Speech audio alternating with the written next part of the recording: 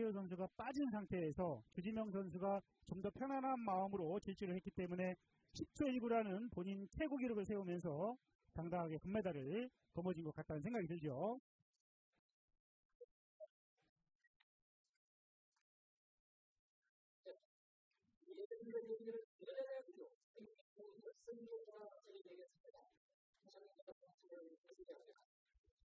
네. 자, 예선전에서는 김한성 선수가 하나 좋은 컨디션을 보여줬죠.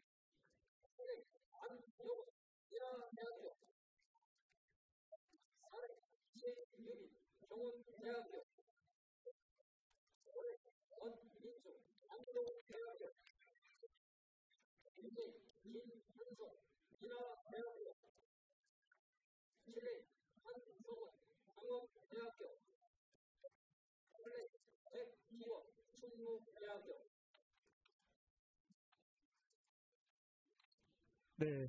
자, 예선전에서는 인하대학교 김한송 선수가 가장 좋은 컨디션을 보여줬고요. 역시 같은 인하대 안영훈 선수도 어, 좋은 기록을 작성해줬고 좋은 컨디션을 보여줬기 때문에 두 선수 간의 각축전 그리고 권민주 선수와 최유빈 선수의 도전도 만만치 않을 것 같습니다.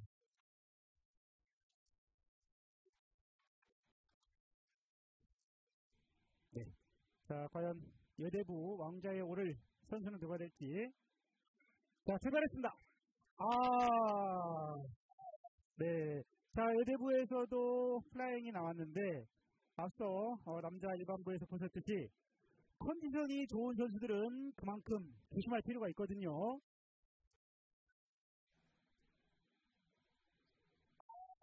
아, 네.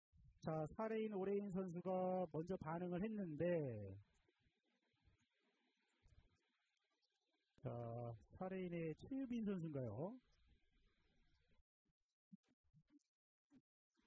네.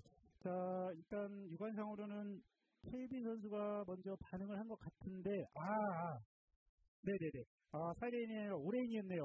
어, 제가, 음, 오레인의 권민주 선수가 가장 먼저 반응을 했습니다.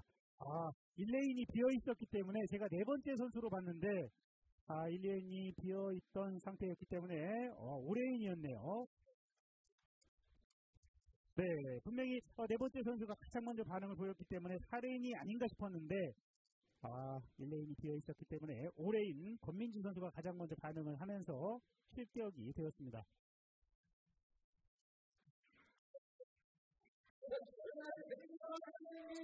네. 자, 4레인 6레인. 자, 6레인의 김한성 선수죠. 자, 김한성! 네!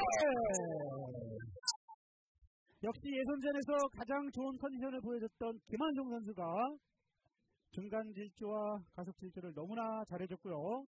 자, 피니시 동작까지 완벽하게 선을 보이면서 당당하게 금메달을 거머쥐었습니다.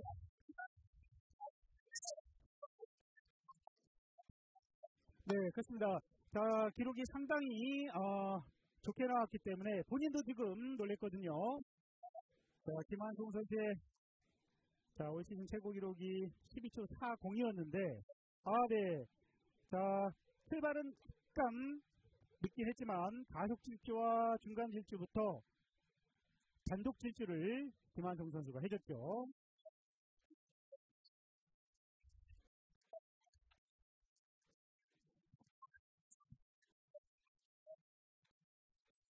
네, 그렇습니다. 자, 12초 27.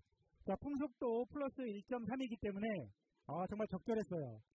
사실 1.5 이상이면 어, 참고 기록으로 남을 수도 있었던 12초 27이라는 기록을 어, 김한성 선수가 작성했고 어, 풍속이 이 기록을 잘 지켜줬네요.